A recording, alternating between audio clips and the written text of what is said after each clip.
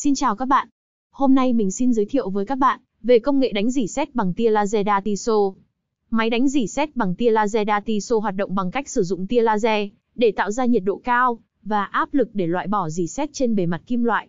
Quá trình này được gọi là phá hủy nhiệt, trong đó tia laser Datiso được tập trung vào vùng cần đánh bóng, tạo ra một điểm nóng rất nóng trên bề mặt kim loại.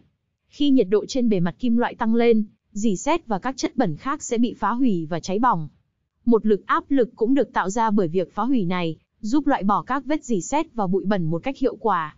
Máy đánh dỉ sét bằng tia laser Datiso thường được sử dụng để loại bỏ dỉ sét, bụi bẩn, vết mốc và các chất khác trên bề mặt kim loại. Quá trình loại bỏ này được thực hiện bằng cách sử dụng tia laser để tạo ra nhiệt độ cao và áp lực, giúp phá hủy các chất cặn trên bề mặt kim loại. Để sử dụng máy đánh dỉ sét bằng tia laser Datiso, trước tiên cần chuẩn bị bề mặt kim loại bằng cách làm sạch và loại bỏ bụi bẩn, dầu mỡ và các tạp chất khác trên bề mặt.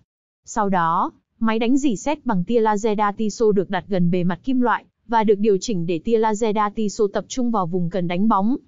Khi máy được bật, tia laser Datiso sẽ tạo ra một điểm nóng trên bề mặt kim loại, tạo ra một áp lực và nhiệt độ cao để loại bỏ dỉ xét và các chất khác trên bề mặt. Máy đánh dỉ xét bằng tia laser có thể được điều chỉnh để thay đổi độ sâu và mật độ của các đốm laser, tùy thuộc vào mục đích sử dụng và loại kim loại được xử lý. Máy đánh dỉ xét bằng tia laser Datiso thường được sử dụng trong các ngành công nghiệp như hàng hải, sản xuất ô tô, hàng không và năng lượng vì tính hiệu quả và tiết kiệm thời gian của nó. Tuy nhiên, việc sử dụng máy đánh dỉ xét bằng tia laser cần được thực hiện bởi những người có kinh nghiệm và được đào tạo chuyên môn để tránh gây hại cho bề mặt kim loại và môi trường.